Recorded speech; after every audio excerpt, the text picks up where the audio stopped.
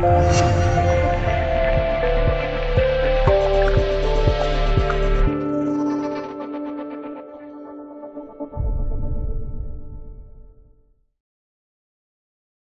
美国方面启动对俄罗斯新一轮经济制裁后，俄罗斯总理梅德韦杰夫八月十日警告美国，美国计划于今年八月就前俄罗斯间谍在英国中毒事件对俄罗斯实施的制裁，可能会被莫斯科视为打响一场经济战争。这位俄罗斯总理警告说，如果对俄罗斯实施某种形式的银行活动或货币禁令，那将意味着对经济宣战。我能说的就是，如果他们禁止我们的银行业务或使用任何货币，我们将会把这种行为视为经济战争，我们将不得不对此做出回应。经济上、政治上或其他任何方式，如果需要的话，我们的美国朋友不应该犯错。梅德韦杰夫在勘察加半岛旅行时说，早些时候，美国国务院宣布对俄罗斯实施新的制裁，原因是今年三月，俄罗斯。前情报官员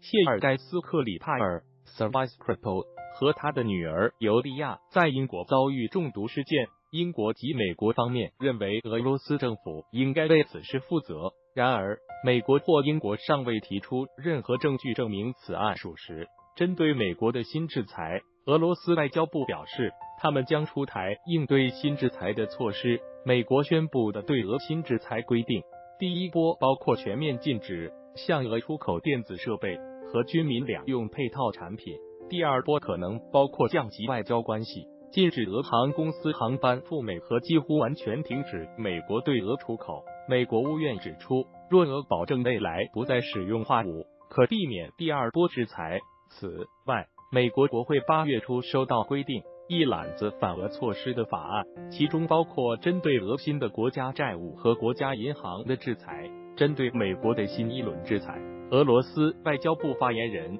扎哈罗娃表示，俄方将研究新的措施以回应美国制裁，回应措施将是对等的。分析人士分析了美国反俄制裁可能对外国投资者对卢布的影响。俄罗斯金融分析师在接受俄罗斯卫星通讯社采访时解释了这些措施将如何影响俄罗斯经济。新的制裁措施针对的是俄罗斯的主权债务、经济和能源部门。这项制裁议案的发起人之一，共和党参议员格雷厄姆早些时候把这项两党倡议称为惩罚俄罗斯的地域制裁法案。民主党参议员鲍勃梅内德斯则声称，该法案是向克里姆林宫施加压力的下一步。俄罗斯高等经济学院。HSE 副教授安德烈贝斯云 （Andrivcn） 表示，毫无疑问，这将对俄罗斯经济产生负面影响。首先，俄罗斯政府债券价格会下跌，